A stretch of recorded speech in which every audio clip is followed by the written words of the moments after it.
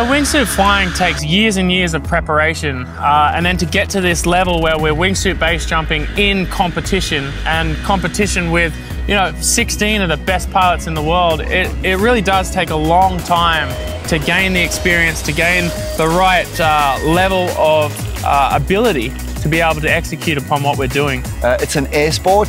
It takes lots of years to get experience and make sure you get to a competence level where you're comfortable and you understand your limits and you understand the environmental limits on you as well. We're doing these things not to try to push the limits and die, but we're trying to do these things to push the limits and, and live.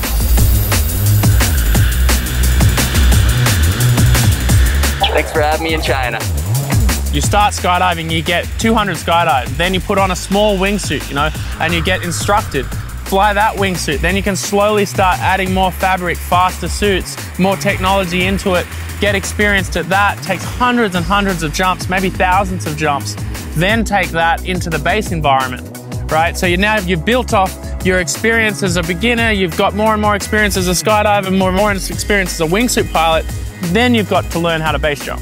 Learn how to base jump, go through all those levels, and now you have the WWL. So it takes a fair amount of conditioning to be able to go do the jumps and then you add competition on top of it, and it is very training heavy sport. Even once you're there, and once you're training, and once you've, you've already done it, it's super important to stay on top of it and to keep your body physically fit. You know, parachute openings are pretty rough on the body, so, you know, I try to keep myself as limber as possible, try to do a little bit of yoga. Uh, and it's like any other sport. You can't just rock up and jump off a cliff and fly in a straight line. You can't do that. You won't, you won't succeed. You may not survive. So it takes, it takes years of preparation, but then it takes very specific training uh, in the wingsuit, and then it takes specific race training to be able to execute upon this sport well.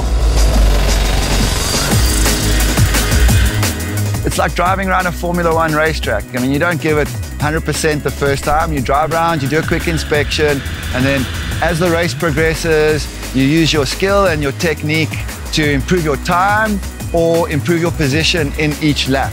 Well, because it's all flying your body, even though we have these suits, I mean, inside the suits, we're, we're flying our bodies. We're flying in, you know, these inflated cells, but it's our body that's making the motions. It's our body that's forming this wing. Good base jumper definitely is the one who has a bigger number of skydives because we are sport of accumulation, you know every single jump, every single free fall time actually accumulating in your brain and your muscle memory and you're simply becoming better.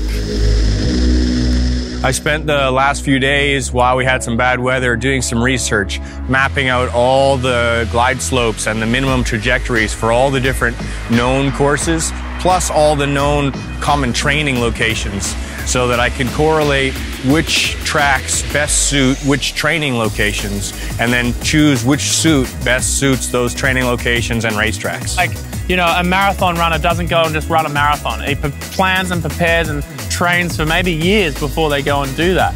Um, so it's like any other Olympic sport. It's just as technical, it's just as hard, and the technology is all there that we're changing all the time to keep up with the athlete's abilities. You know, you, you have to take time, you have to you have to put in the time and you have to train really hard in order to, uh, to make this dream come true. So I think more very solid, skilled pilots will go try to qualify for World Wingsuit League in the next couple of years.